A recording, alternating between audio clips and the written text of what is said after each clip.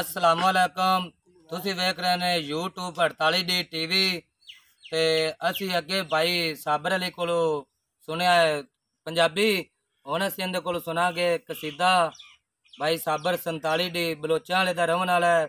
ਨਾਲ ਢੋਲ ਤੇ ਸੰਗਤ ਕਰਦਾ ਪਿਆ ਭਾਈ ਸਬਾਜ। ਤੇ ਭਾਈ ਸੁਣਾਓ ਸਾਨੂੰ ਕਸੀਦਾ, ਮੌਲਾ ਅਲੀ ਕਸੀਦਾ ਸੁਣਾਵੋ ਜੀ। पंज नारे पैंतन के सवा लाख नारा हैदर का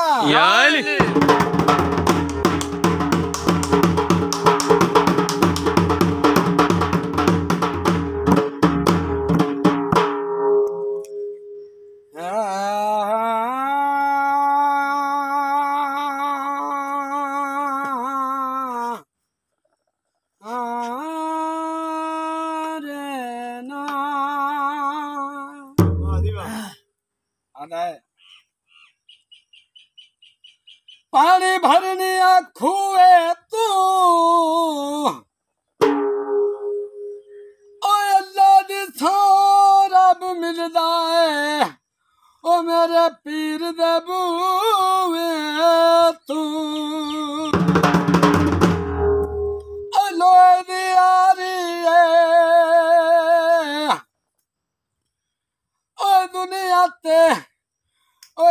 ਬਣ ਗਈ ਮੇਰਾ ਅਲੀ ਪੀਰ ਬੁਖਾਰੀ।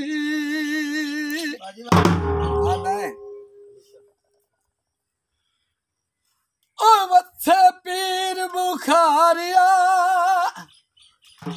ਓ ਵੱਥੇ ਦਰਬਾਰ ਤੇਰਾ। ਮਾਇਆ ਨਾ ਕਰਤੇ।